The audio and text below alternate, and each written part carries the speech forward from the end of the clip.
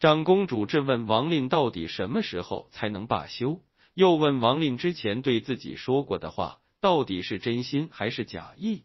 王令说自己所说的都是肺腑之言。长公主听罢，说自己从此以后只是王朝的长公主，她和王令的夫妻情分就此断绝。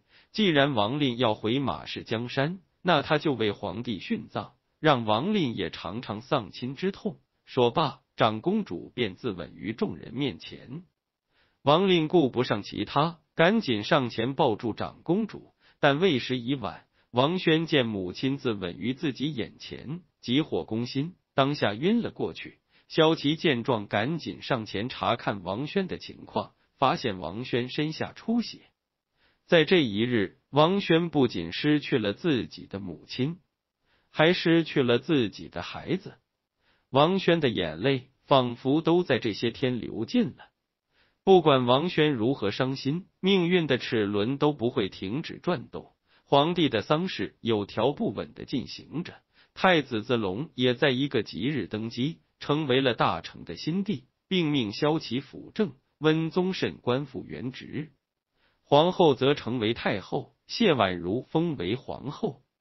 王轩和萧齐送长公主下葬后，问起朝廷的情况。萧齐说：“子龙下了密令，杀了先帝寝宫里所有的衣冠宫人，令皇帝驾崩的事实盖棺定论。至于王令。”子龙和太后念及同族之情，不表其谋逆罪过，只给了王令一个结党营私的罪名下狱，这样也能免王氏一族遭受牵连。王轩还期盼着子龙能放过王令一命，但残酷的事实摆在眼前，三日之后，王令就将被问斩。萧齐劝王轩去看看王令，毕竟王令是他的父亲。子龙想要彻查王氏一族谋反之事，想要查出朝中还有谁是王令的人。太后却反对子龙继续查下去，说王氏是他们的母族，也是氏族的代表。子龙心下不满，觉得自己已经是皇帝了，如果事事还要太后做主，那不如让太后废了他。两次宫变已经让子龙心惊胆战，如果不是萧齐，他根本坐不上皇位。太后却让他不要太感激萧齐，臣子守护皇帝是天经地义的事情。如果要封赏，给他一张免死金牌就可以了。这边谢婉如被太医诊出了喜脉，他得知消息后，便去找太后和子龙说了这个好消息。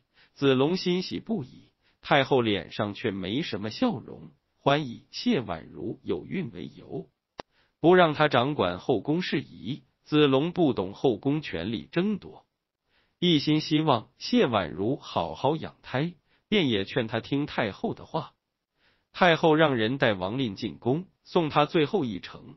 王令虽然已经沦为阶下囚，但见太后还是一副高傲的样子，还指责太后背叛了王氏家族，说子龙根本没有能力做这个皇帝，他要成大事，自然连至亲也不会在乎。太后却说：“王令早就众叛亲离了。”王令心中凄凉，不再多说，只是默默饮酒。太后又向王令保证：“只要有他在，王氏绝对不会落寞。”太后对谢婉如十分防备。谢婉如有孕后，他便不让子龙去谢婉如房里，美名其曰爱护谢婉如。谢婉如怒不可遏，对子龙的不作为也很心寒。一旁的下人劝谢婉如不要动气，担心隔墙有耳。谢婉如则暗下决心，下次一定要灭了王氏女的威风。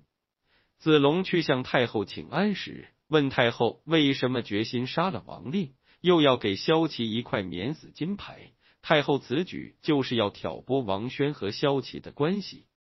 如果王轩知道萧齐手里有免死金牌，一定会求萧齐救王令。如果萧齐救王令，就会引起手下将士的不满。而且，就算救下王令，王令发配边疆也活不了多久。如果萧齐不救王令，那王轩和萧齐之间就一定会心生嫌隙。